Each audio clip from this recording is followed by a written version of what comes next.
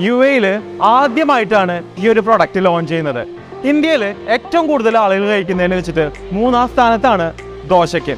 അതിൽ ശരവണ ഇറക്കിയിട്ടുള്ള ഒരു പുതിയ പ്രൊഡക്റ്റാണ് ബീട്രൂട്ട് ദോശ മിക്സ് എന്ന് പറയുന്നത്. കഴിച്ചു നോക്കാം നമുക്ക്.